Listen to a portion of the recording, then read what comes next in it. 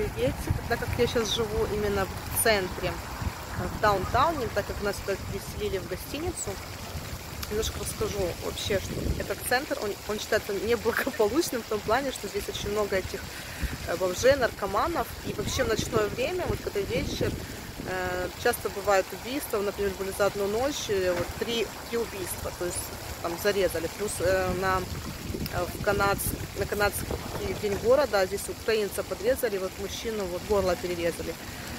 А, реально, как бы вечером здесь очень жутко. Лучше, конечно, не выходить уже более темное время суток.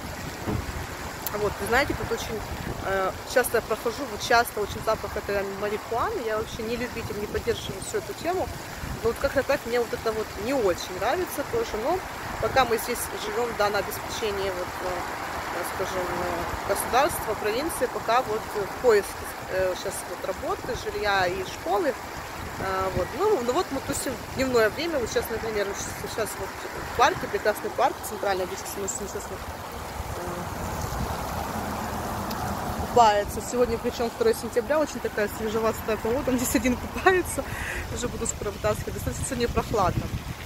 Ну, выпросил меня пару минут, пока я тут видосики записываю. В общем, вот что еще хотела рассказать свои наблюдения. Я уже нахожусь в центре города. Живоса. Welcome.